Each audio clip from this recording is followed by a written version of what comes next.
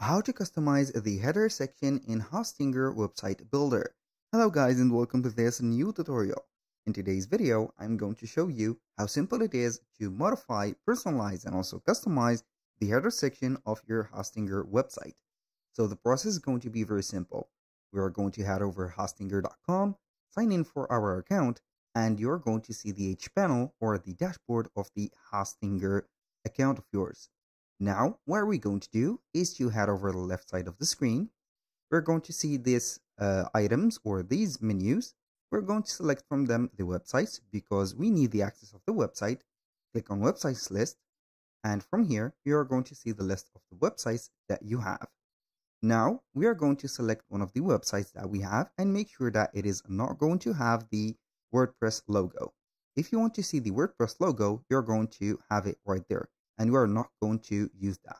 Basically, we are going to use the Hostinger website builder like this. Click on website and when you are going to see the website opened or the editor loaded up, we're going to start the work. So here we have our website, as you can see, fully loaded. Now, what we are going to do is to present for you the website from the beginning till the end. We have here the header, we have these sections until the end or before the end one, which is going to be the footer. This section in between is going to be called the body or the template. So in our case today, we're going to focus on the header.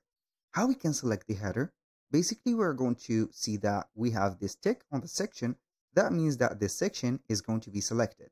But the header, it is going to be having a deeper blue color. But when you click on it, it is going to be ticked. That means that it is going to be, uh, as you can see, selected. Now, how we can edit or customize the header.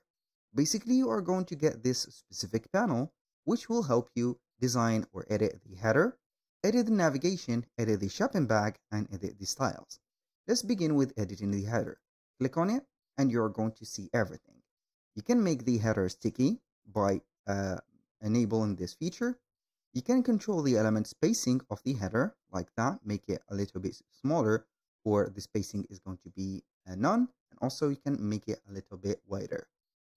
You can have the link spacing also as you can see for the links or the items of the header and also you can go ahead and set up the top and bottom spacing from here. So you're going to get here a narrow head or a specific bigger head. Now for the header, as you can see, we have some of the customization.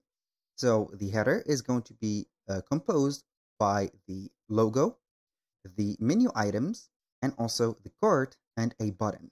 As you can see, the button in here is going to be invisible. So because we have disabled that button. You can change the specific components, as you can see position as much as you want, but we have here five positions only you can see here that you can select any position and see the one that will suit you. So if you want to change one of the uh, header, as you can see, elements, the spacing, or uh, here the uh, specific uh, distance between the logo and also the header, you can manage here the specific line spacing or the top and bottom spacing in here, or you can change the specific header customization. So for example, here we are going to put the elements and in the middle nearly. And here we are going to put the elements at the left side, the logo at the center, and the uh, cart at the right side.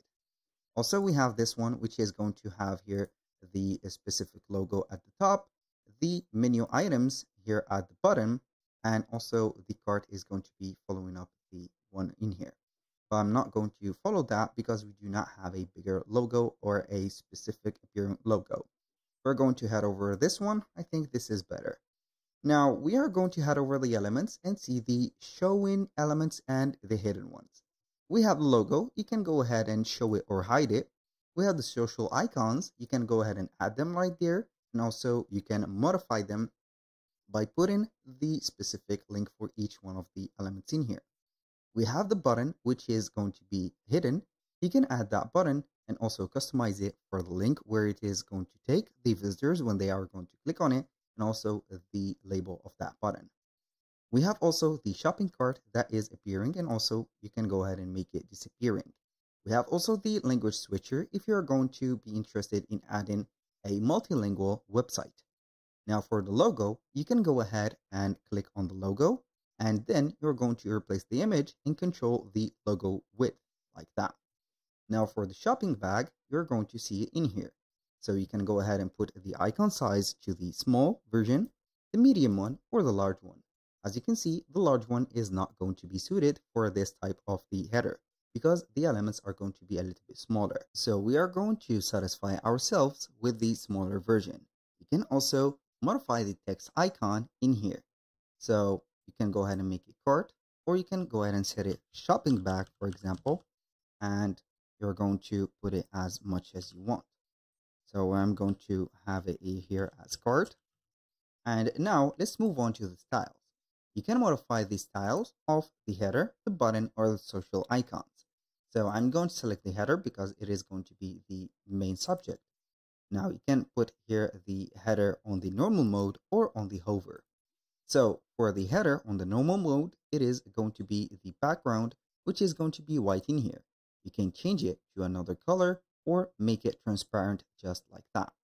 So I'm going to be back in normal and then we are going to see that we can also put the header fully transparent by making it or enabling this option. So for the text font, it is going to be changeable, of course, and also editable. You can go ahead and upload your own font or use another platform font as you can see from Hostinger. You can also modify the header text color by changing it to something else, for example, like that. And you can make it a little bit appearing like this, or make it a little bit uh, not that appearing and put it in the middle of the colors. You can also pick up a color, for example, like this, and then we have it right there. Now I'm going to put it back to black, and here we have it. You can also edit the styles text in here, and you have everything. For example, for the paragraph number one, or paragraph one, it is going to be put on the height and the size of this. Also, the line height is going to be adjusted. You can make it underlined and also you can set up the preview of it. So for the navigation links, it is going to be also like this. These are going to be the navigation links. You can make them uh, bigger, for example, or smaller like this. And here, the weight is going to be, as you can see, adjustable. Now, you can go ahead and preview it and see the uh, right there. Now, uh, aside from that, you can go ahead and edit the navigation from here and click on it. So you're going to have here the navigation menu, add or hide some of the navigations, create some pages and add them in here. And then you can go ahead and control your main navigation or the menu items. Also for the shopping bag, it is going to be just a uh, shortcut for the modifying it also the editing styles as in it is going to be also a shortcut.